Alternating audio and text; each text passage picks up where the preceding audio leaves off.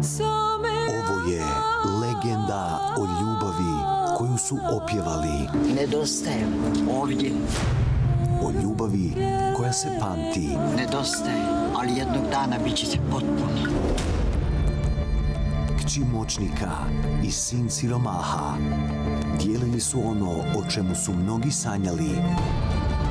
Jedne noći povjerila mu je tajnu koju on nije htio čuti. Povrijeđena i slomljena, netragom je nestala. A sada se vraća pritisnuta krivnjom. Predati mu ono najvrijednije, Kızını getirdim Sancar ali najveća borba tek je pred njima. Jesu li spremni voditi je zajedno? Ambasadorova kći u ponedjeljak u 19.45 na Novoj BH.